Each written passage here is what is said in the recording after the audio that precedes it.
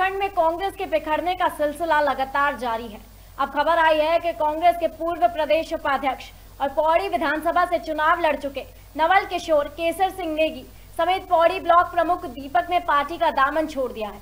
चर्चाएँ हैं कि तीनों ही जल्द ही बीजेपी ज्वाइन कर सकते हैं। कांग्रेस के जिला अध्यक्ष ने विनोद नेगी ने बताया कि तीनों ही पार्टी विरोधी गतिविधियों में शामिल हो रहे थे। उन्होंने कहा कि हाल ही में पार्टी छोड़ चुके मनीष खंजूरी के ये तीनों करीबी थे। ये भी एक वजह है कि तीनों पार्टी विरोधी गतिविधियों में शामिल होने लगे और फिर सोशल मीडिया के ज़रिए कांग्रेस छोड़ने की सूचना दी। पौड़ी से संवाददाता मुकेश बछेती की रिपोर्ट। लोग ऐसे हैं जो पार्टी को लगातार कमज़ोर करने का प्रयास कर रहे हैं।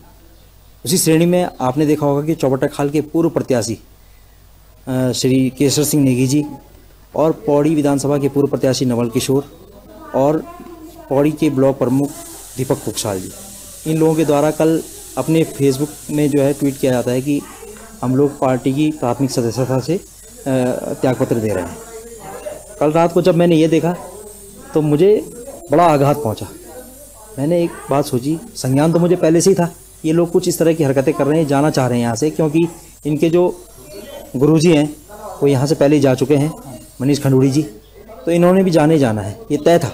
लेकिन ये कब जाते हैं बस ये किस चीज़ का इंतज़ार कर रहे थे, मेरी समझ में नहीं आ रहा था। लेकिन मैं इतना कहना चाहता हूँ कि आज इन लोगों ने पार्टी को छोड़ा है।